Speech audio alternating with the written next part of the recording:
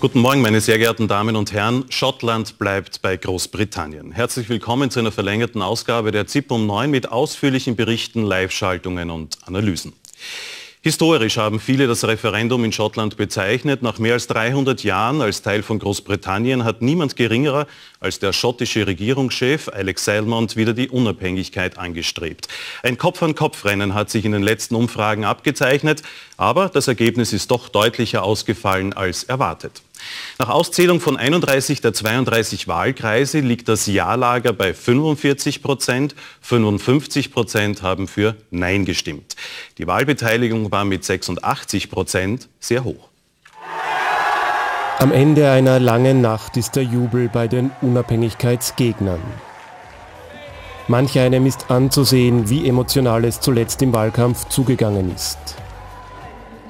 Ihr Traum ist vorerst zerplatzt, sie wollten eine eigene Nation sein, aber es hat für sie nicht gereicht. Jubel trotzdem für den First Minister Alexander Salmond, als er seine Niederlage eingesteht. Danke Schottland für 1,6 Millionen Stimmen für die Unabhängigkeit, so Salmond nach einer langen Wahlnacht. Aber wir wissen, dass die No-Kampagne gewonnen hat.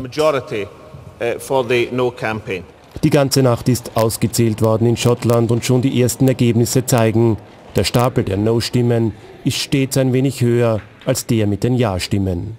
Yes. Die Unabhängigkeitsbefürworter haben nur Teilerfolge erzielt, in Dundee oder der Stadt Glasgow zum Beispiel, wo sie knapp vorne liegen.